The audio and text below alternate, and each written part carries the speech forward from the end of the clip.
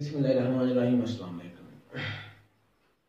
As you know that we are discussing a very important module that is morphology.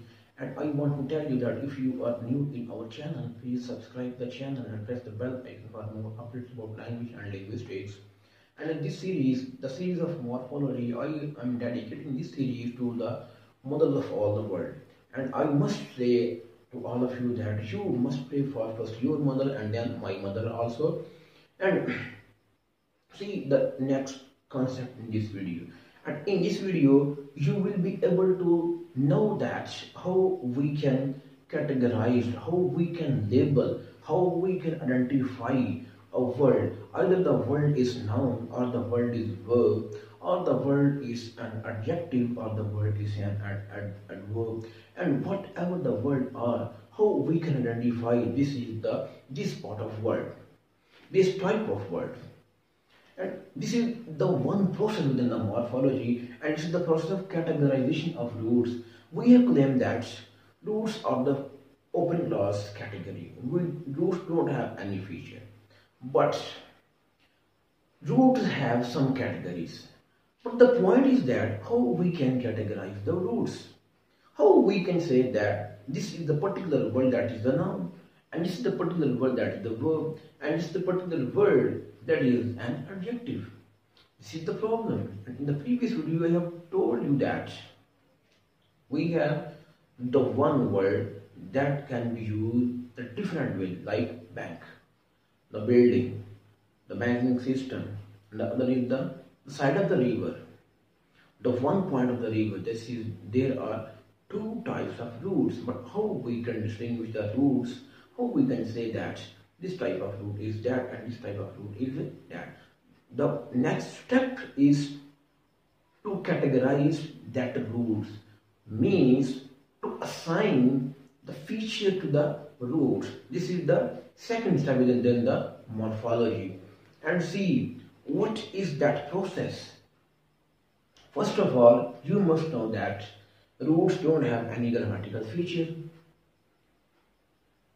There are no feature within the roots that operate within the world morphology. Roots have no grammatical feature because roots are the open class item.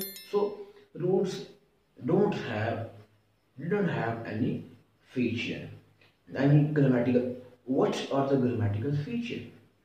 The grammatical features are the number feature, the case feature, the person feature, and they are the grammatical feature. But roots don't have any grammatical feature.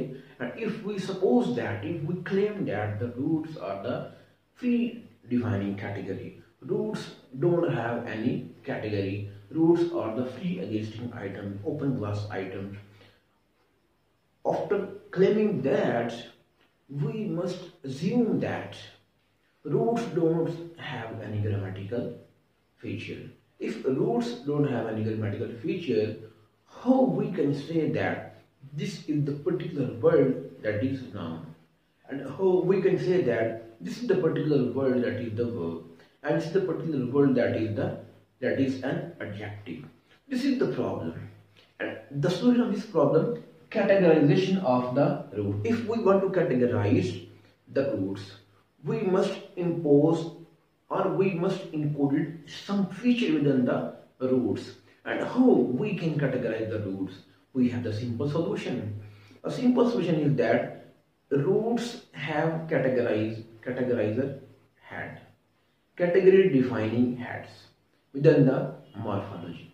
And they are the noun small n. The v the small v.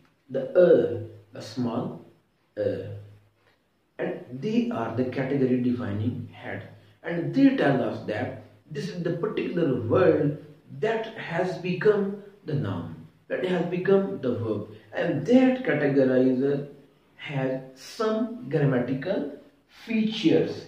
And that grammatical feature may vary within the language but roots are the same within the language. Roots don't have any grammatical feature. The grammatical features are the properties of category defining heads and category defining heads uh, combine with the roots and then makes a label over the over merging that category. And we can say that this word has become the noun and this word has become the verb. See roots are free category. Roots combine with a category defining functional heads. What are the functional heads? I have claimed that functional heads are noun small n v verb or a adjective in adverb whatever we suppose.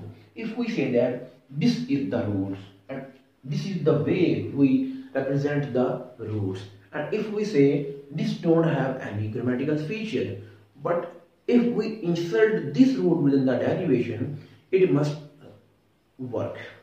For working it must have some operators and that operators are the category defining heads. And category defining head combine with that root and then if this cat combined with n it will become the noun. And this root are assigned the feature of n. Before merging this root with the n it, this is the free category this is the roots. This is the raw material of morphology. When this category, category function head merges with the cat, it gives this cat the feature of nominal phrase and this will become the cat. And if we say we want to make the word that is the verb we can say that if this categorizer head merges with another root it will become the v and if we say that this merged with the uh, it will become an adjective. But before merging with the categorizer head, it is free. It is the root. It don't have any grammatical feature. It is the free category. Enemy, the feature. Within the language, we have the feature. The person feature, the number feature, the case feature, the gender feature. These are the features and these features vary within the language. But every noun, every verb, every adjective, every adverb, every category have some properties and that property is called, that property are the grammatical feature. But we claim that roots are the free clause, open clause category, root don't have any grammatical feature. If we suppose that root don't have any grammatical feature, but how roots process may process within the derivation when it enters within the morphology morphology or morphological process it means that root must combine some other category and that category must have some feature and that feature then will be encoded within the roots and that will become the noun the verb the adjective and whatever the functional categorizer merges with the root it will become that particular category.